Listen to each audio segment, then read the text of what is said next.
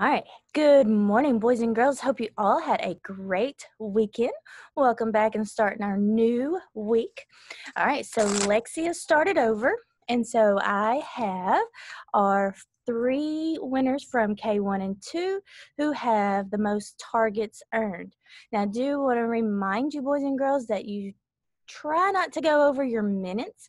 Um, most of you have 60 minutes you can go over your minutes and i encourage you to work in it as much as you can but don't want to go way over your minutes anyway so in kindergarten our winner for lexia targets is Addie James in Miss Hale's class. Miss Bohler will be down uh, sometime soon to uh, give you your prize.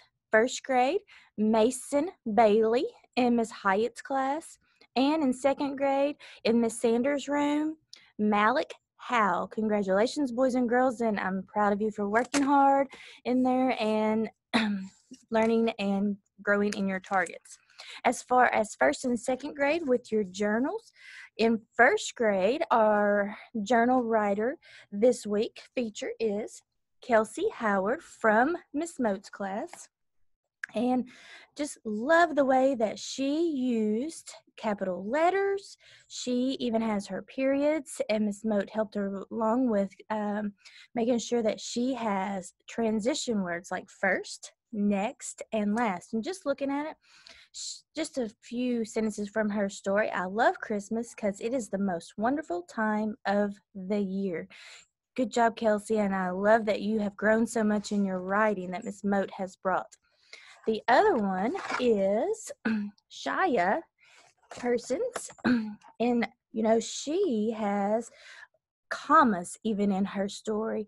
Um, my Christmas vacation. We got to make cookies for Santa. That is my favorite part of Christmas vacay and you know she even circled i know that we're working on circling our uh, punctuation and making sure she underlined all her capitalization. She has lots of details and told me all about her christmas vacation.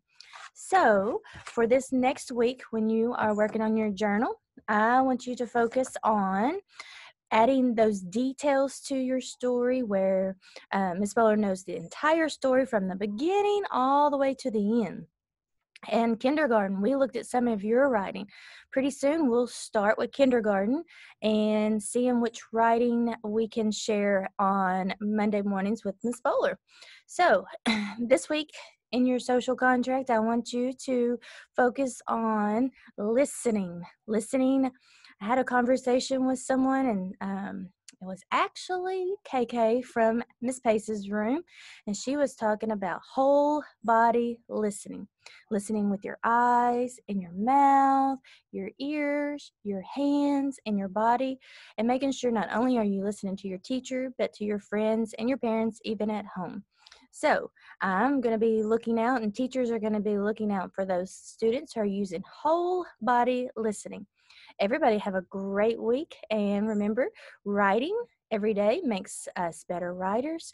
And just the other day, I told a bunch of second graders that reading every day and listening to your teacher read also makes us better readers. So, everyone, have a great week and see you throughout the week at lunch or next Monday on our Monday mornings with Miss Bohler.